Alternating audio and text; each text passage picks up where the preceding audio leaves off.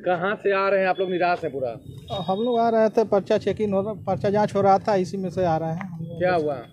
पर्चा हमारा खारिज कर दिया गया है।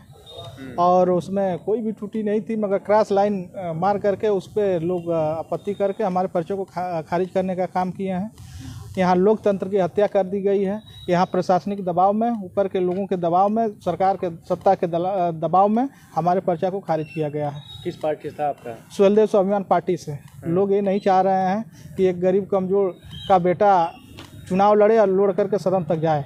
लोगों ने हमारे मनोबल और हमारे कार्यकर्ता सम- पूरे राजभर समाज के युवाओं के मनोबल के साथ छेड़छाड़ करने का काम किए मनोबल को तोड़ने का प्रयास किए हैं। इसी तरह से हमारे राष्ट्रीय अध्यक्ष मान्य महेंद्र राजभर जी लखनऊ में गए थे उनके साथ भी इसी तरह का कृत्य किया गया था।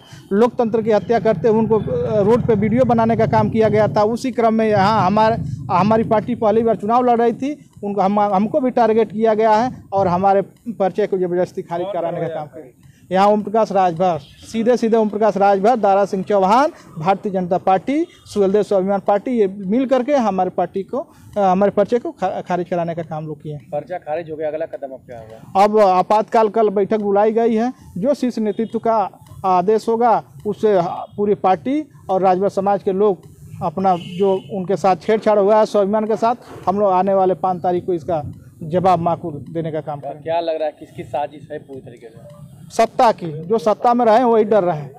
ये लोग नहीं चाह रहे हैं कि कमज़ोर का बेटा चुनाव लड़े, कमज़ोर का बेटा लड़ करके सदन तक जाए। ये जो धनपशु आज लड़ रहे हैं, ये लोग, हम लोगों को मनोबल का तोड़ने का प्रयास कर रहे हैं। राजभर समाज में कोई नेता पैदा ना हो, कोई युवा आगे न आए, इसके लिए हम लोगों को साजिश किया जा रहा है। और हमारे पर्चा को खारिज इन्होंने कराने का काम किया है।